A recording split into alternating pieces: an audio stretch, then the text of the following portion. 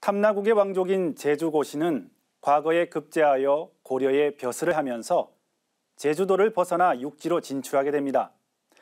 이후 제주고시는 중앙의 명문가로 성장하며 많은 인물들을 배출하게 되는데요. 제주고시에는 어떤 인물들이 있을까요? 역사 속 인물들을 찾아갑니다. 고말로는 시조 고을나의 46세 손이며 탐나의 마지막 왕인 45세 고자견 왕의 태자다. 서기 935년 태조 왕건이 신라와 후백제를 정복한 다음 그 여세로 탐나국도 강제로 예속시키려 하는데 이에 고자견 왕은 사신을 보내 화친을 꾀하려 했으나 실패하고 서기 938년에 태자인 고말로를 고려에 입족해 한다. 고려 태조는 탐나국의 오랜 왕통을 존중하여 그에게 성조, 왕자의 자코를 제수하고 탐나를 세습 통치케 한다. 그에게는 고유, 고강, 고소라는 세 아들이 있었는데 이들 모두 과거에 급제하여 가문이 번창할 수 있는 기틀이 마련되었고 특히 장자 고유는 고려 문종 때 우복야에 올라 고려의 벼슬한 최초의 탐나인이 된다. 고말로는 탐나국 태자로서 처음으로 고려에 입주하여 성주작을 받고 제1대 성주가 되었으므로 제주 고시에서는 그를 중시조로 삼고 있다.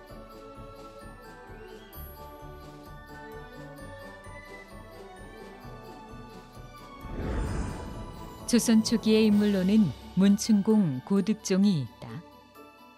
그는 세종 9년 문과에 급제하고 예조 참의, 한성 판윤, 동지 중추부사를 지냈는데 명나라에 두 차례, 일본에 한 차례 사신으로 다녀오는 등 외교에 많은 활약을 한다. 또한 제주의 향교를 중심으로 유학 진흥에도 큰 공적을 남겼으며 문장과 서예에 뛰어났고 사후에 정문이 세워질 정도로 효성이 지극했다고 한다. 고득종에게는 고태필, 고태정, 고태보, 고태익 등 네 아들이 있는데 모두 문과에 급제하는 영예를 얻는다.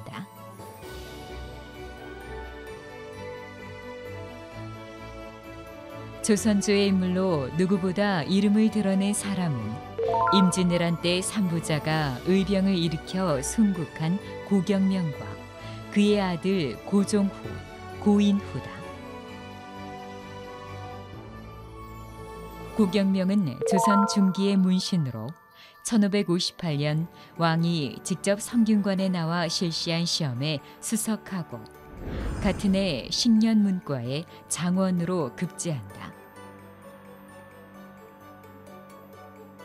호주 좌랑, 전리, 정원, 교리를 지내고 승문원 판교를 거쳐 동네 부사가 되는데 이때 서인이 실각하면서 그도 파직되어 고향으로 돌아간다.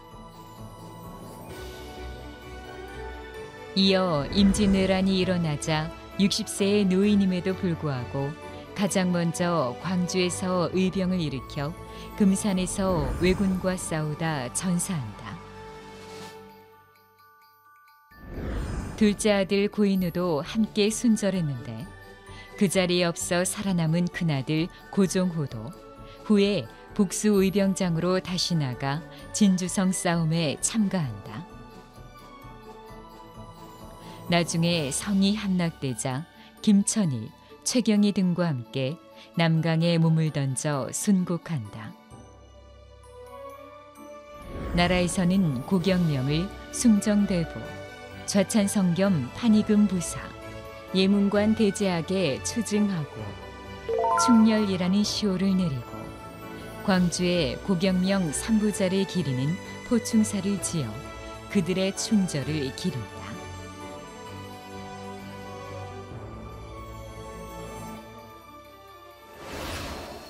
구한말의 인물로는 고석진과 고영근이 있다. 고석진은 면함 최익현의 수제자인데 의병장으로 활약했으며 대한제국의 군인이자 개화파 정치인인 고영근은 명성황후의 살해에 가담했던 훈련대 이 대대장 우범선을 일본에서 암살한다.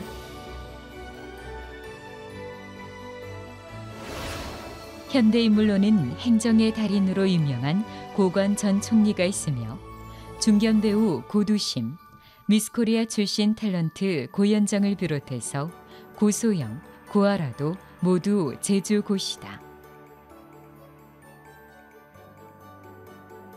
장소팔과 더불어 만담가로 유명한 고춘장, 타양살이 노래로 잘 알려져 있는 고복수, 고민정 국회의원과 가수 윤하도 고윤하로 제주 고시며 스포츠계인 축구 선수 고종수, LPGA에서 큰 활약을 하고 있는 프로골퍼 고진영과 뉴질랜드 출신 교포 리디아 고도 본명은 고보경으로 제주 고시다.